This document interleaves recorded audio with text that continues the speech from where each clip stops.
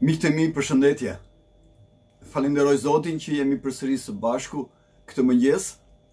Duket shumë bukur nëse shikojmë përjashta, por besoj që edhe nga ana shpirtërore jemi shumë mirë. Faleminderit për gjithë kohën tuaj.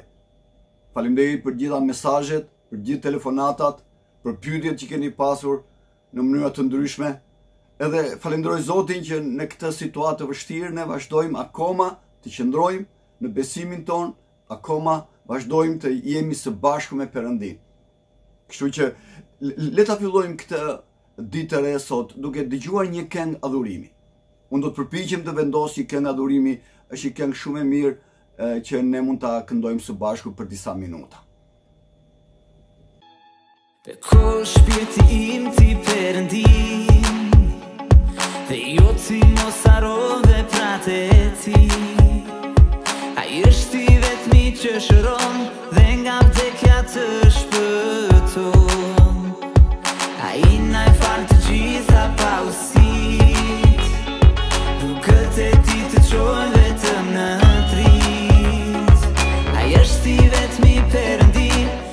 Që për ne dha birin e tij. Oke, le të kthehemi përsëri së bashku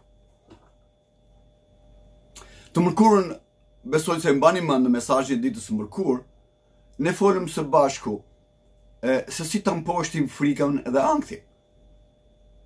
Pamë së bashku që të dyja këto ishin armë në duart e armikut I cili në këtë situatë të sotme ai vazhdon të kërkojë panik Dhe ai kërkon, sidomos për ne të krishterët, për ne besimtarët, kërkon që secili prej nesh të largohet nga rruga e Zotit. Dhe gjithashtu ne thamë që ne mund të mundim djallin, ne mund t'i mundim këto armë në duart e djallit, pikërisht me një gjë. Ju kujtohet, Me Fjalën e Perëndisë, me Shkrimin e Shenjtë. Pra me besim. Duke pasur besim, ne do të shkojmë pikërisht e do të mundim djallin në këtë situatë. Situata nuk është e lehtë. Çdo ditë ne dëgjojmë gjëra të reja. Çdo ditë ne dëgjojmë se si djalli është duke sulmuar.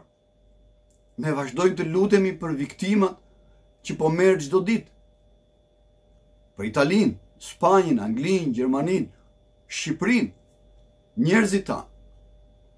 Kështu që le të vazhdojmë të lutemi, edhe unë sot do të fokusohem pikërisht tek lutja, në një mënyrë të veçantë, edhe do të jemi tek një Kronikave, kapitulli 4, vargjet 9 edhe 10.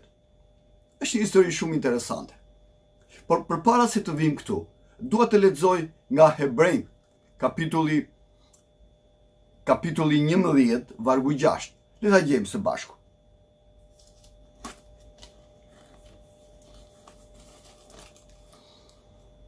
Hebrenjtë 11, 6, Thotë, edhe pa besim, është e pa mundur t'i pëlqesh atij, sepse ai që i afrohet Perëndisë, duhet të besojë se Perëndia është dhe se është shpërblyesi i atyre që e kërkojnë. Le të kthehemi përsëri prapë te një Kronikave. Dua ta nis me një ilustrim që më ka ndodhur para disa ditëve. Gjatë kësaj kohe të karantinës, ne shumë pak i shikojmë njerëzit, shumë pak shihemi së bashku. Edhe një ditë ndodhesha në ballkonin tim, këtu edhe e ka pamjen këtej nga lulishtja, nga rruga, edhe një miku im i vjetër, po kalonte poshtë. Unë doja ta përshëndesja, edhe i thërres, ej, filan. Ai në fakt, sapo dëgjoi zërin, sepse është miku im i vjetër, edhe filloi po shikonte anës nga i vinte. Unë vazhdoja të thërrisja, ta thërrisja me emër, po e ngrija zërin më shumë, po duke pasur lëvizje aty afër, ai nuk po e kuptonte se nga i vinte zëri. Për një moment, Ndërsa nuk po arrinte dot të më shihte drejtpërsëdrejti, megjithëse zërin e dëgjonte shumë mirë, ai bëri një veprim. Ai nxori telefonin nga xhepi, edhe filloi po formonte. Unë për momentin nuk e kuptova, mendova se i ra zilja ose diçka tjetër, po kur pashë telefonin tim, ai filloi të binte. Edhe pashë emrin e shokut. Atëherë e mora telefonin edhe i thashë: "Ej, ngri sytë lart. Aty ku je, edhe në atë mënyrë siç je, nuk më shikon dot. Ngri sytë lart. Ai ngriti sytë kështu, edhe më pa te ballkoni edhe u habit. Por ka diçka të veçantë për ne, vëllezër e motra. Mënyra se si e dëgjojmë, thirrjen edhe ku i drejtojmë sytë. Mund të dëgjojmë shumë gjëra, Mund të dëgjojmë shumë thirrje të ndryshme. Ajo që duhet të ndodhë tek ne është zgjedhja se kë thirrje po dëgjojmë. Por ka edhe nganjë raste jo të mira, jo të këndshme në këtë drejtim. Për shembull kur dikush të thërret dhe nuk do ta takosh thua më lërë se nuk po e dëgjoj. Ndërsa e zëmë se po të thërret shefi. Ej, po të thërret shefi. Vazhdon me vrap edhe shkon direkt. Nuk është keq, është shumë mirë. Por, ajo që duhet të ndaj me ju sot te një kronikave, është a jemi duke i çuar lutjet dhe thirrjet tona drejtpërsëdrejti në mënyrën e duhur te, te, te, tek Perëndia? Libri i një kronikave, në fakt, na tregon historinë e popullit të Perëndisë, popullit të Izraelit, kur ishte në kohën e mbretit David, domethënë në vitet pesëqind e tridhjetë e tetë para Krishtit dhe si mund të them është një kronika e kronikave janë librat e, historikë frymërorë të popullit të Izraelit. Pikërisht në këtë libër ka shumë mësime frymërore që janë shkruar edhe për ne sot. Edhe unë, unë kam zgjedhur këtë shembull sot, nëse keni dëgjuar për Jabecin. është një një një njeri fenomen. Edhe unë kam i kam këto dy vargje si të thuash pjesën time të lutjes sepse më drejtojnë në mënyrën se si të lutem si Jabeci. Dëgjojeni se çfarë thotë një kronikave kapitulli 4 vargjet 9 edhe 10. Jabecin e nderonin më tepër se vëllezërit. e ëma i kishte vënë emrin Jabec, sepse thoshte e polla me dhimbje. Jabeci kërkoi ndihmën e Perëndisë së Izraelit duke thënë: Oh, sikur të më bekoje dhe të zgjeroje kufijtë e mi, dhe dora jote të ishte me mua, dhe të më ruante nga e keqja të që të mos vuaj. Dhe Perëndia i dha atë që kishte kërkuar. Në këto dy vargje, na jepet tërë historia e jetës së Jabecit. Ne në fakt nuk e dimë pse e ëma e lindi atë me dhimbje, por nga konteksti shohim se ai ishte një njeri, Jabeci pra që i besonte Perëndisë edhe ishte njeri i lutjes. Të gjithë ne në këtë kohë, jemi në një kohë lutje. Ajo që Zoti na ka thirrur sot është që të qëndrojmë pranë edhe të lutemi. Por a mos jemi duke menduar se Perëndia nuk po i përgjigjet lutjeve tua? E di që disa prej jush do thonë jo, s'është e vërtetë. Unë besoj te premtimet e Zotit. Por në bisedat e mia si pastor, kam pasur njerëz që gjithmonë bëjnë disa pyetje që ndoshta as unë s'kam përgjigje. Sa do të zgjasi? Kur Perëndia do të vendosi dorën? E shumë pyetje të tjera. Por, ajo që ju mësoj, ose që duam të mësojmë sot, nga Jabeci, është Ne duhet të kemi besim që Zoti do të plotësojë lutjet tona. Por, mos harrojmë, ne duhet të dimë çfarë të kërkojmë. Mund ta marrim si mësim shumë prej Jabecit edhe për vetë faktin se Perëndia me të vërtetë i përgjigjet lutjeve. Është një mësim shumë i mirë. Tani, le të ngremë pyetjen së bashku. Çfarë kërkojmë ne në lutje? Çfarë lloj lutjesh bëjmë? Mesazhet tona, e-mailet tona këto ditë në të gjitha grupet kanë qenë jashtëzakonisht të mëdha. Në fakt jam i bekuar. Sepse ndoshta edhe njerëz më parë që s'i kisha parë të ishin aktivë. Ndoshta edhe njerëz më parë që ose ka shumë njerëz që nuk i njoh. Por shikoj se si pikërisht në këtë kohë janë duke qëndruar me Perëndinë dhe duke dërguar lutje dhe duke u lutur së bashku nëpër grupet që ne kemi. Edhe unë nga ky pasazh, pra nga një Kronikave kapitulli 4 vargjet 9 edhe 10, kam nxjerrë tre, tre pika që duhet të mësojmë sot. Janë tre kërkesa lutje që duhet të mësojmë, se si Jabeci i kërkoi Zotit ato gjërat që ai dëshironte. Ai po i kërkon Zotit në këto vargje, sidomos në vargun 10. Që ai kërkonte bekim. Ai po kërkonte prezencën e Zotit, edhe e treta, ai po kërkonte Perëndisë që ta çlironte atë nga e keqja. Le t'i shikojmë së bashku këto, ja, këto pika. E para, a jemi duke kërkuar Zotin? A jemi duke kërkuar bekimet e Zotit? Dëgjoni se çfarë thotë Jabeci në pjesën e parë të vargut 10. Ai po kërkonte Perëndinë me këtë thirrje. Oh, sikur të më bekoje edhe zgjeroje kufijtë e mi. Emri Jabec, në fakt rrjedh nga shprehja të shkaktosh dhimbje. E shohim pra se Jabeci donte ta çlironte veten prej këtij lloj epiteti. Të tjerët ia kishin ngjitur, edhe talleshin pak a shumë me emrin e tij. Por është shumë interesante jeta e Jabecit. Shokët, njerëzit, të afërmit e tij kishin frikë nga Jabeci, nga vetë emri. E qëndro larg, Ti që më shkakton dhimbje. Ata kishin frikë se mos Jabeci do t'i shkaktonte dhimbje dhe i rrinin larg. Por, nga Bibla ne mësojmë që Jabeci ishte ndryshe. Ai donte të ishte një njeri i bekuar. Ai kërkonte Perëndinë. Ai ishte një njeri me besim.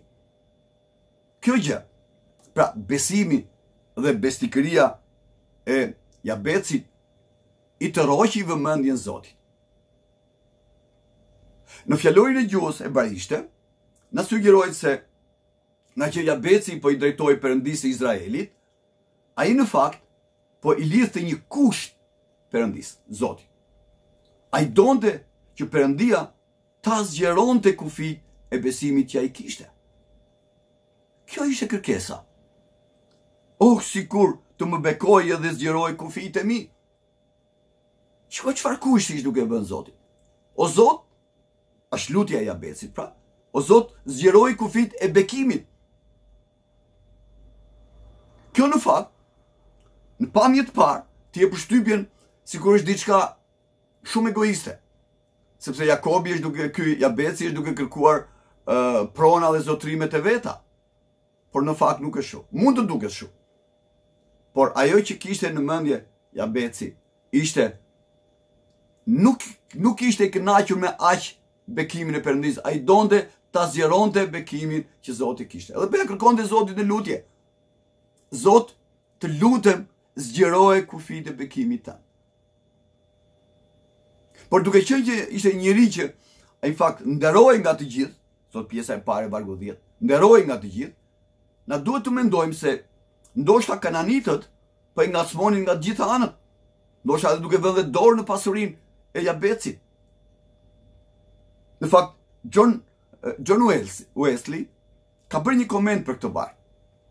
Ai thotë që fjala zgjeroje ka kuptimin m'i largo këta kananitas të cilët duhet t'i kishim zhvendosur që më parë. Ky është komenti i John Wesley. Tani, siç na duhet edhe siç shikojmë në tekstin tonë të mësipër, kjo lutje në fakt, përfaqësojnë një dëshirë shumë të zjarrtë që vjen nga Jabeci. Oh, sikur të më bekoje. Unë nuk i di lutjet tona si nisin, por ajo që mësojmë nga kjo pjesë, është shumë e rëndësishme për ne sot. Nëse jemi futur në këtë kohë lutje, E gjithë bota po lutet. Kam parë jobesimtarë që luten. Fort. Që Zoti të ndërhyjë. Pikërisht kjo përmban, o Zot, zgjeroje kufirin e bekimit tënd. Pra, vëlla edhe motër, lutu, lutu në këtë situatë. është thirrja jote, Është koha jote që të lutesh për të zgjeruar kufijtë e bekimit të Perëndisë. Jo vetëm për ty. Jo vetëm për zonën ku ti jeton, jo vetëm për familjen tënde. Për gjithë kombet. Për gjithë kombet. Edhe sot do të jetë një ditë e veçantë lutje për gjithë kombet. Shumë kisha sot në orën 17 do të mblidhen së bashku dhe do të luten, kuptohet në online, për këtë gjë. Le, le të shikojmë diçka tjetër.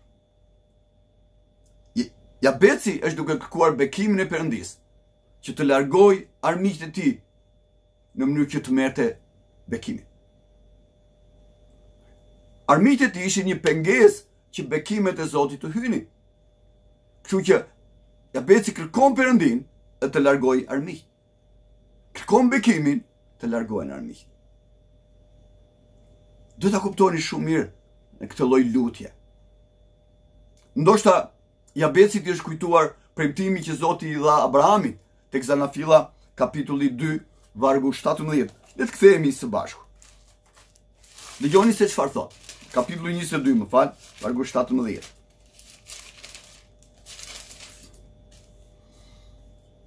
Perëndia i thotë Abrahamit kështu. Unë me siguri do të të bekoj fort dhe do të shumoj pasardhësit e tu si yjet e qiellit dhe si rëra që ndodhet në brigjet e detit dhe trashëgimtarët e tu do të zotërojnë portat e armiqve të tij. Ndoshta Jabeci ishte duke menduar pikërisht këtë varg. Ajo që duhet të kuptojmë, është se sa më i madh të jetë besimi ynë, aq më shumë bekime dhe aq më larg do të qëndrojnë armiqtë tanë, dhe aq më i madh do të jetë territori dhe aq më afër ne do të jemi pranë Perëndisë. Ju kujtohet kënga Ne duam ta ngremë Jezusin lart. Është shumë e fortë, shumë e fuqishme. Ajo thotë, ne duam ta ngremë Jezusin lart, nuk po e këndoj se nuk jam i mirë shumë në këngë, si një flamur mbi vendin tonë. Lutja jonë është armë e fuqishme dhe fortesat e djallit bien poshtë e poshtë e poshtë. Qëndrimi vëllezër e motra në Perëndinë, është lumturia jonë e vërtetë. Kërkoje këtë në lutje. Kërkoje që Zoti të zgjerojë kufijtë e bekimit tu. Së dyti, shikojmë diçka tjetër në këtë lutje te vargu 10 se çfarë kërkon Jabeci. Ai thotë kështu: Dora e djathtë të ishte mbi mua. Dora jote të ishte mbi mua. Jabeci është duke kërkuar në lutje prezencën e Zotit.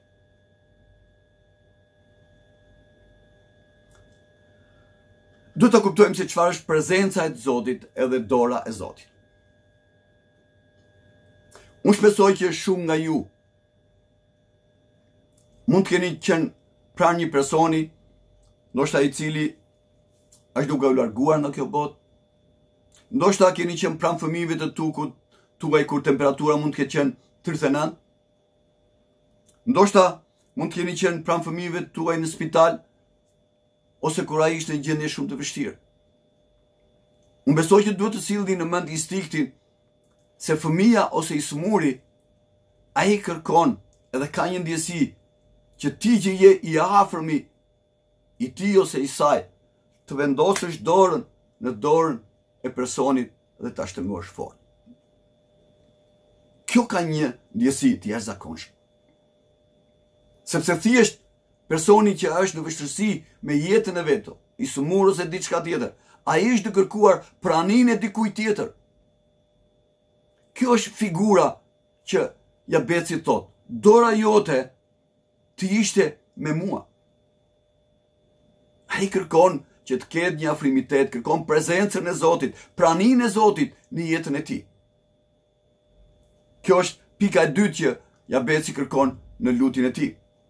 Dhe ai e dinte shumë mirë se bekimi më i madh në jetën e tij do të vinte nga të qenit e Zotit në jetën e tij. Edhe nëse ai ishte duke i besuar me të vërtetë Perëndisë, atëherë po kërkonte që Zoti të ishte i pranishëm në të gjithë situatën e jetës së vet. Edhe jo vetëm për të mbrojtur nga armiqtë që ai kishte. Ose ndryshe mund ta them, ai po kërkonte kujdesin mbrojtës të Perëndisë. Shpeshherë, nuk arrijmë të kuptojmë sa i plotfuqishëm është Perëndia, edhe çfarë të bëjmë? Çfarë bëjmë ne?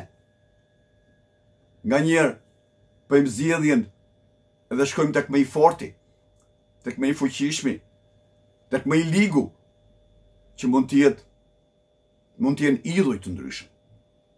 Edhe jo vetëm kaq, po nganjëherë në këto situata të vështira ti vendos kushte ligësie ose ndarje pazaresh me persona të tillë. Por Jabeci na mëson se ai bëri një zgjedhje tjetër. Ai kërkoi Perëndisë që dora e Perëndisë të ishte pranë tij. Kjo ishte pika e dytë e lutjes. Jabeci kuptonte çfarë ishte dora e Perëndisë dhe e vuri këtë kusht në lutjen e tij. Zgjeroji kufijtë e bekimit edhe merre dorën tënde dhe vendose tek mua. Pra një kusht i tillë që Perëndia të ishte i pranishëm në jetën e dikujt, nuk ishte ndonjë gjë e jashtëzakonshme në atë kohë. Sepse njerëzit e njihnin shumë mirë këtë. Siç është nëse ju kujtohet Jakobi, i cili lidhi një kusht me Perëndinë, Në kohën kur ai po largohej nga Esau,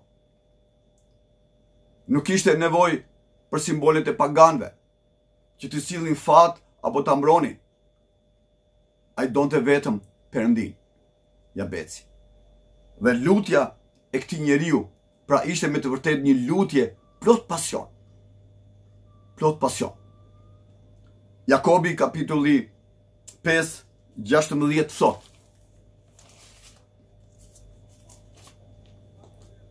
Shumë fuqi ka lutja e të drejtit kur bëhet me gjithë shpirt. Pra, mos harrojmë, Jabeci kërkoi bekimin e Perëndisë, ai kërkoi prezencën e Zotit në jetën e tij. Dhe së treti e fundit ja Jabeci kërkoi çlirimin nga e keqja. Edhe ai thotë kështu.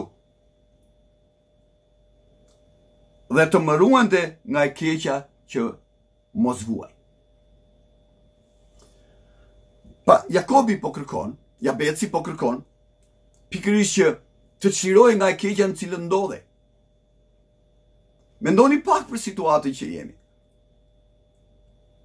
Të gjitha masat që janë marrë nga qeveria, lavdi Zotit, çdo lloj rregulli, çdo lloj udhëzimi që është dhënë njerëzve, ajo për cilën ne po jetojmë sot, janë pikërisht që të ruhemi ne nga e keqja.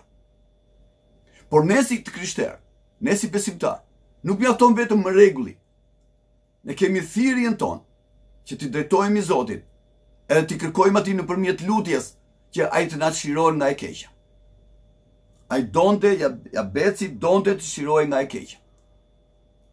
Kjo e keqe, thotë Jabeci, thotë një Kronikave, na tregon që ishte duke i shkaktuar dhimbje. dhimbje. Kjo do thotë se armiku vazhdimisht po i sillte probleme atij, apo nuk e dimë tamam situatën, por ka të ngjarë që ai mund të kishte mposhtur, mund të kishte mposhtur kananitët dhe ndoshta në disa raste nuk ia kishte arritur dot qëllimit. Dhe tani po i drejtohej Zotit që t'i jepte fuqi për t'u rezistuar atyre që kërkonin ta shkatërronin. Edhe ne kemi, ne kemi beteja ditë për ditë me djallin. Po jo gjithmonë e fitojmë. Dhe tashmë, armët e djallit po punojnë, ankthi dhe frika, siç jua thashë. E mbani mend mesazhin e, e kaluar. Ankthi dhe frika. Ai po vazhdon të sulmojë. Edhe kësaj radhe, ai po merr shumë territor. Duket sikur besimi ynë, po, po meket. Lutja e Jabecit është jashtëzakonisht e njëjtë me fjalët që iu tha Jezusi dishepujve të vet, lidhur me mënyrën se si ata të luteshin. Nëse ju kujtohet, ke Luka kapitulli 11 vargu 4, Jezusi tha, na shpëto nga i ligu. është një mënyrë, një thirrje për t'i kërkuar Zotit të na çlirojë. Vini re pra se si Jabeci lutet që Perëndia të ishte me të. Dhe nuk mund të mos e marrim parasysh faktin se e keqja nënkupton edhe mëkatin. Nuk po flasim vetëm një të keqe që të sulmojnë me armë ose të vjedhin shpinë ose ka ardhur koronavirusi. Është mëkati brenda saj. Kështu pra që ai i krishteri që kërkon bekimin e Zotit, duhet të dëshiroj gjithashtu që të largohet mëkati. Largoni mëkatin. Kur themi qëndroni në shpi me familje tuaj, qëndroni mos, mos kontaktoni njerëz të tjerë të cilët mbartin sëmundjen, edhe ju mund të infektoheni. Vllezër dhe motra, është çështje e thirrjes së kujdesit Zotit për ty. Si mund të presim dhe të marrim bekime, kur vazhdojmë akoma të mëkatojmë, të mos i bindemi urdhëresave, ligjeve të shtetit, ose urdhrit të Zotit për të mbrojtur veten tonë. Mos harroni, çdo urdhëresë, çdo ligj është për jetën tonë, e thashë javën e kaluar. Zoti shumë interesuar për ty edhe për mua. Ai na do, Edhe ai do që të vazhdojmë dhe t'i kërkojmë Perëndisë që të jemi, të zgjerojë kufijtë e bekimit tonë, të vijë me prezencën e vet, edhe të na çlirojë nga i ligu. Psalmi 66, 18 thotë.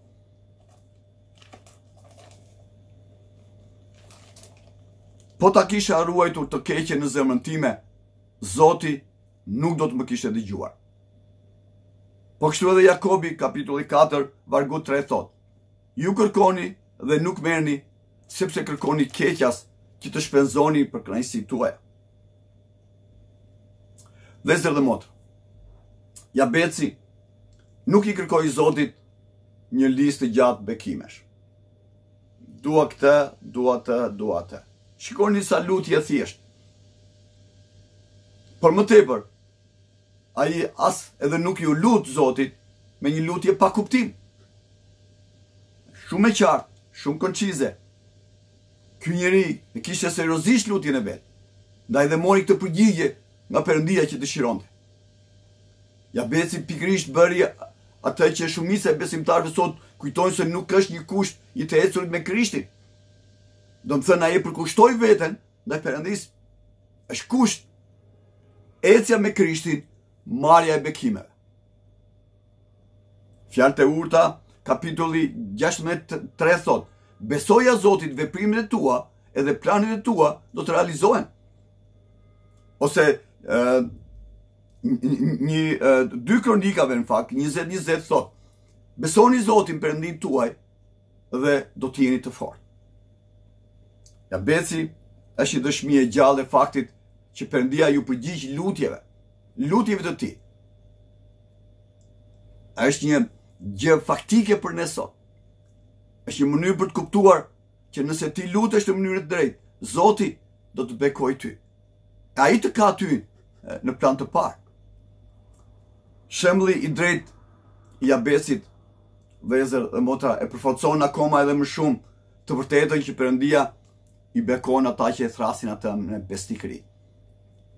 Jabeci ishte besnik. Pra, çfarë çfarë nxjerrim si përfundim? Kërkoni në lutjet tuaja bekimin e Zotit. Jabeci kërkoi bekimin e Perëndisë. Kërkoni në lutjet tuaja praninë e Perëndisë. Jabeci dëshironte praninë e Zotit. Kërkoni në lutjet tuaja çlirimin nga e keqja. Jabeci donte të çlirohej nga e keqja. Pra, në besnikërinë tënde, thirre Zotin në lutjen tënde. Dhe Zoti do t'i përgjigjet lutjes tuaj, do ta dëgjojë. E ta ndalojmë këtu mesazhin për sot, vëllezër e motra. Edhe unë vazhdoj të lutem për ju. Vazhdoj të jem vazhdimisht në lutje edhe në komunikim me ju. E të lutemi që kjo kjo kohë të mos zgjasi shumë, sepse ne kemi nevojë për të parë njëri-tjetrin. Por, përsëri, Unë mendoj që Zoti i ka zgjeruar kufijtë e bekimit, ndërsa jemi në këtë situatë. Zoti ju bekoftë, edhe dëgjohemi përsëri, ose shikohemi përsëri, ditën e mërkurë, në orën 5. Bekimet e Zotit qofshin mbi ju.